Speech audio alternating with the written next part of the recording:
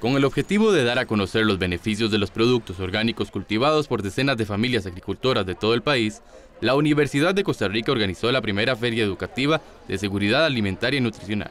Esta feria reunió a más de 100 agricultores nacionales quienes mostraron la calidad de sus productos en los alrededores del pretil. Marianela Zúñiga, docente de la comisión organizadora, explicó el objetivo principal de esta iniciativa.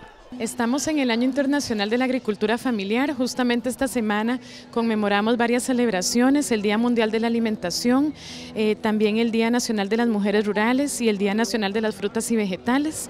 Entonces hemos desarrollado esta actividad que es una feria educativa de seguridad alimentaria y nutricional como un espacio de encuentro de agricultura familiar y de iniciativas también de economía social solidaria. Además de la muestra de productos orgánicos, durante la feria se celebraron otras actividades como intercambios de saberes, stands informativos y presentaciones artísticas. Uno de los grupos que tomó los alrededores de la Biblioteca Carlos Monge fue el colectivo de prácticas artísticas Arte Mutación como surgieron preguntas, decidimos que la acción iba a ser sembrar preguntas en un espacio público, porque ese es nuestro colectivo, solo eh, accionamos en espacios públicos.